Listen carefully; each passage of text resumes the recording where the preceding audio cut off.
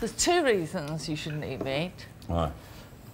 One is even if you don't care about animals, there's no way we're going to feed the planet No. by What? They're putting spiders on eating meat. There's too many people. Because 97% of the world's soya is mm. fed to meat animals, it's not fed to people. Right, yeah, yeah. So it doesn't make any sense. No.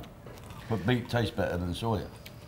There's nowhere to run, there's nowhere to Yeah, but then it destroys the rainforest and also people are starving. I I think people in Woolwich don't give a shit. I'm not saying the people in Woolwich don't care anymore about anyone else, but you get my analogy. The rainforest isn't the rainforest supposed to be saved by the people that live near the rainforest instead of slashing and burning it all the time? Yeah, but they slash and burn it to raise cattle to To eat, you can't eat a rainforest, can you? No, No, but it's provided most of the world's medicine, it provides our oxygen, it disposes of carbon dioxide, it keeps the earth cool. Yeah. Um, so we've got to eat. Yeah, but there's more, I mean, there's more sustainable ways of eating. You look good on, Well, I've been vegetarian since I was 11, but I couldn't see you doing any weightlifting. I walk my dogs 12 kilometres a day. Are they heavy dogs?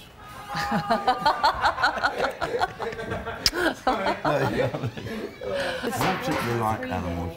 But Most of them would eat us. Yeah, but it's all it's all propaganda, isn't it? Like if you look back at what No, the ones I've met, I don't like.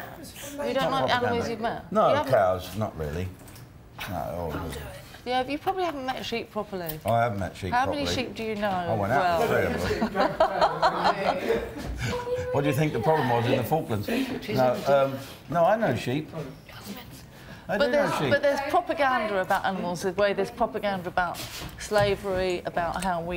What does the Bible say? I don't care what the Bible says. I don't believe in God. Oh, okay. So What hope have you got then? They gone. What hope do you have? They went out, Hope. to the jacuzzi. um, I believe in Do you think that's it then? We're gonna. This is, Yeah. this is as good as it gets. yeah Oh, yeah. Dad. Just throw it in the trash I can. know, but he's gonna. But you know, I, I had a mummy sheep take refugee in my fields with her two lambs years ago. So I cut off her tags and cut off the markings and kept her. And now when you go and see her in the field, she's still with her two lambs. And they love each other, you know. But every year those lambs are ripped away from her killed. and killed. I know. If you and see she babies, it's heartbreaking. The babies. You've never eaten another bacon No, and I did a story bacon. in the Mail on Sunday about abattoirs. So it's a production line. Yeah, understood. One question from me. What? Let's say tomorrow you get your way. I phone the Prime Minister. David, you've got to listen to this woman. Right, okay? We're not going to eat any more meat. So all the farmers that raise meat and that, we've got to find new Do you know what our Hang on, farmers let me cost finish, us? Let me finish, let me finish, let me finish. Oh, Thirty-eight thousand pounds a year ah. each in subsidies. Yes, okay, that's fine, but that's not us, that's Europe.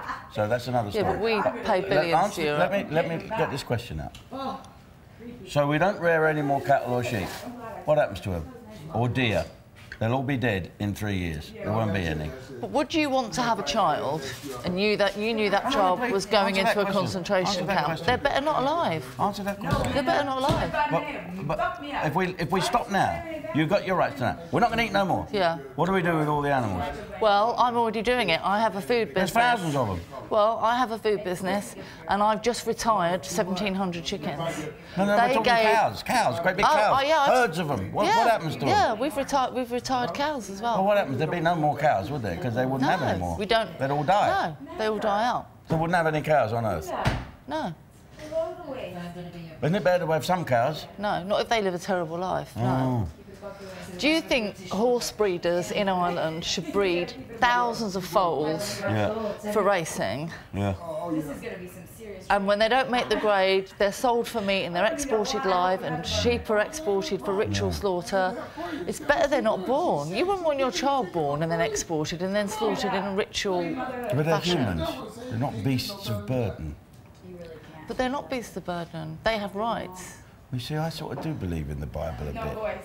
What? I'm just gonna be like this. I can't hear you, mom.